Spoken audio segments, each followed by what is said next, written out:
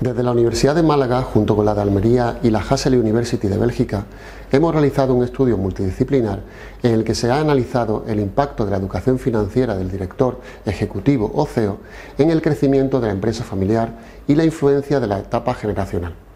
En relación a las empresas, en España tenemos un problema de tamaño, de tal forma que el 95% de nuestro tejido empresarial está formado por microempresas, en su mayoría familiares.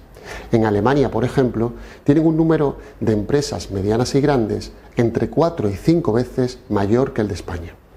En este problema del tamaño, nuestro trabajo revela que aquellos CEOs con más educación financiera son capaces de generar mayores niveles de crecimiento empresarial, porque reconocen oportunidades de inversión, mejoran el acceso a la financiación y obtienen dicha financiación a un menor coste. Sin embargo, aunque el CEO pueda tener la habilidad para mejorar las cifras de crecimiento, no siempre está dispuesto a apostar por ello. Es decir, puede tener la habilidad, pero no la voluntad de hacerlo.